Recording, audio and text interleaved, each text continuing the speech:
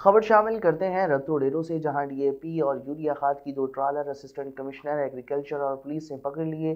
खाद बासर की होने की वजह से फ़ोन पर रबता करने के बाद असिस्टेंट कमिश्नर और एग्रीकल्चर इंतज़ामिया फ़रार हो गई।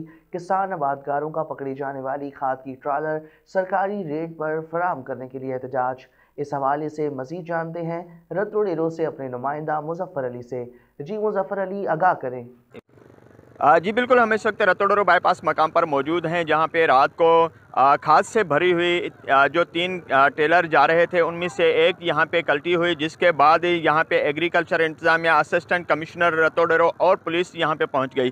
जिसके बाद इस बात की जो रतोडरो गर्दोनवाह के जो किसान हैं उनको पता चल गया। उसके बाद वो यहाँ पे पहुँचे हैं।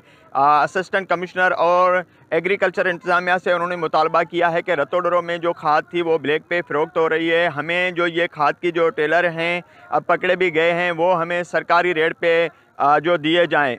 मगर इंतज़ामिया जो यहाँ पे पहुँची जिसके बाद ज़रा के मुताबिक यहाँ पे कोई ये बासर सरदार वगैरह का जो ये खाद है, वहाँ पे जा रही थी खाद की जो टेलर उन्होंने फ़ोन करके उनको कहा कि ये हमारी खाद है, इसे टच ना करें, जिसके बाद एग्रीकल्चर इंतज़ामिया और असिस्टेंट कमिश्नर रतोडरो यहाँ से मौके से फ़रार हो गए हैं। उसके बाद आबादगार उन्होंने यहाँ पे रतोडरो और नौडेरो रोड बंद करके धरना दिया है कि रतोडरो में जो खाद की एक फ़ी बोरी है, वो तीन हज़ार इक्कीस सौ रुपये की फ़रोख्ती हो रही है। हमें जो ये खाद है, वो सरकारी रेट जो मुकर है, सतारह सौ जो अस्सी रुपया, उस पर ही हमें दी जाए।